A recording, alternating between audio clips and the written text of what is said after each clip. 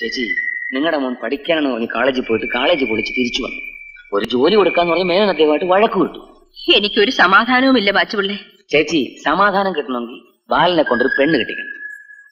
ശരിയാ. ആ കാര്യം ഞാൻ വെച്ച് നീട്ടുന്നില്ല.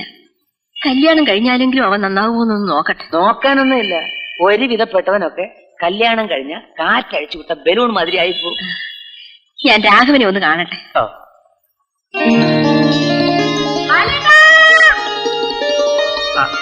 രാധയോ? എന്താ? ബാലേട്ടന് എന്നോടും വിരോധമാണോ? നിന്നോട് എനിക്ക് പിണക്കോ? ഈ ജന്മത്തെങ്ങനെ ഉണ്ടാവോ എന്നെ നിങ്ങളുടെ വീട്ടിൽ വരരുതെന്ന് ചേട്ടൻ വിലക്കിയിരിക്കുക ഓഹോ അത്ര ദൂരമായോ? മേനോൻ സാർ രാഘവന്റെ മനസ്സിൽ വിഷം കുത്തിവെച്ച് കാണും എനിക്ക് അമ്മച്ചിയും ബാലേട്ടനെയും കാണാതിരിക്കാൻ കഴിയില്ല.